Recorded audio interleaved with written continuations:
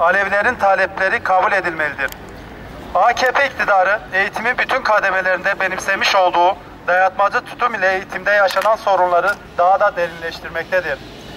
Velilerin ve öğrencilerin tercihlerine, öğrencilerin ilgi ve yetenekleri doğrultusunda istedikleri okulda okuma koşullarını sağlamak yerine hangi okula gideceğini, hangi dersleri alacağını bizzat kendisi belirlemektedir.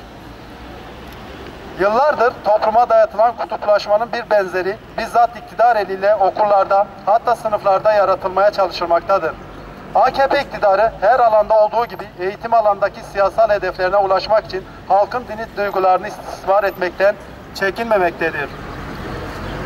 Eğitimin dini kurallara göre bi- biçimlendirilmesi öğrencilere inanan ya da inanmayan, dindar ya da dinsiz, ibadet eden ya da ibadet etmeyen gibi kategorilere ayırmaya başlamıştır. Toplumda giderek derinleşen ayrışmalar eğitimin dini kurallara göre düzenlenmesiyle daha da derinleşmeye başlamış.